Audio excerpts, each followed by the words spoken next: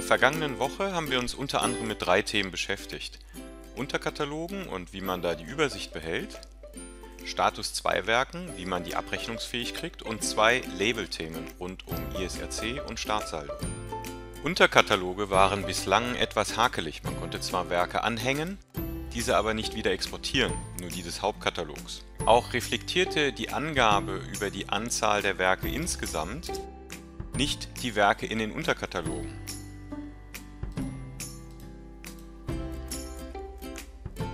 Jetzt schon.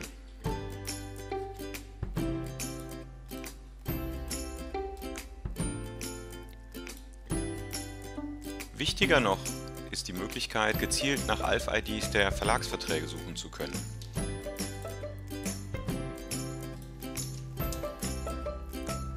Und dort alle Werke, nicht nur des Hauptkatalogs, sondern aller Unterkataloge mit aufgelistet zu kriegen. Mit allen Möglichkeiten, die das bietet. Der Leseansicht, der Exportmöglichkeit und vielen anderen mehr.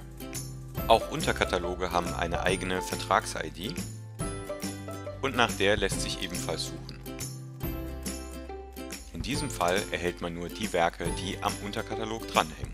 Was Status 2 Werke angeht, wir gehen unseren Weg Schritt für Schritt, sie zuverlässig und sicher abrechnungsfähig zu machen. Warum zuverlässig und sicher? Weil in vielen Fällen falsche oder gar keine Werkanteile bei den Status 2 Werken hinterlegt sind wie hier in dem Beispiel, die zusammen 150% ergeben. Klarerweise Rollenanteile. Neu ist, dass man Status 2 Werke zu Verlagsverträgen hinzufügen kann.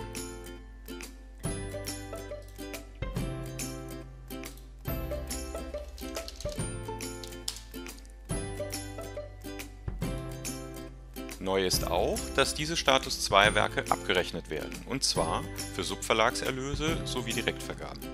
Zuvor muss aber wie vor jeder Lizenzabrechnung die Fehlerliste aktualisiert werden. Und schon erscheint unser Status 2 Werk auf der Fehlerliste, weil die Werkanteile mehr als 100% betragen. Zu unseren zwei Labelthemen. Unter Label Tracks, QM und QZ als Präfixe werden jetzt akzeptiert. Neu ist auch, dass in Labelverträgen das Feld Startsaldo, was schon eine ganze Weile in ALF drin war, jetzt auch tatsächlich aktiviert ist, und zwar für reguläre ebenso wie quer verrechenbare Verträge. Das Startsaldo wird damit einmalig in diese Abrechnung beispielsweise fürs zweite Halbjahr 2018 in den Übertrag mit hineingerechnet. Wenn es sich um gruppierte quer verrechenbare Verträge handelt, werden diese Startsalden summiert. Vielen Dank für deine Aufmerksamkeit und eine schöne Woche